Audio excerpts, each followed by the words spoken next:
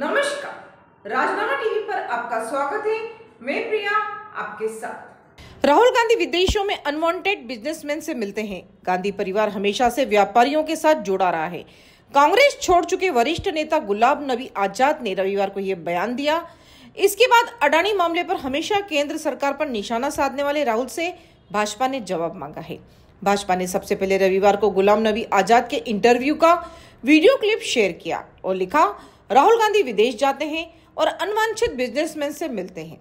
राहुल गांधी बताए कि ये व्यापारी कौन है, जिनसे उन्होंने मुलाकात की और ये मुलाकात किस लिए की गई। इसके बाद सोमवार को भाजपा सांसद रविशंकर प्रसाद ने भी प्रेस कॉन्फ्रेंस की और राहुल से पूछा कि राहुल बताए वो कौन से व्यापारी हैं, आपका एजेंडा क्या है? क्या राहुल गांधी भारत विरोधी व्यापारियों के इशारे पर भारत को कमज़ोर करने की कोशिश कर रहे हैं और मोदी जी के खिलाफ काम कर रहे हैं? गुलाम नबी आज़ाद जी ने एक बहुत ही गंभीर आरोप लगाया है कि राहुल गांधी जी जब भी विदेश दौरे पर जाते हैं तो कई अवंछित व्यापारियों से मिलते हैं और उनके कई व्यापारिक घरानों से संबंध। है अब देश ये जानना चाहता है कि आपने विदेश दौरों पर राहुल गांधी किससे मिलते हैं?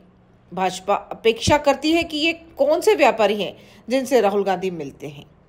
और इनके बीच क्या विलिंग डीलिंग है? कौन है ये अनवांछित व्यापारी और इनके क्या हित जुड़े हैं इसी के साथ बने रहिए राजनामा टीवी के साथ धन्यवाद।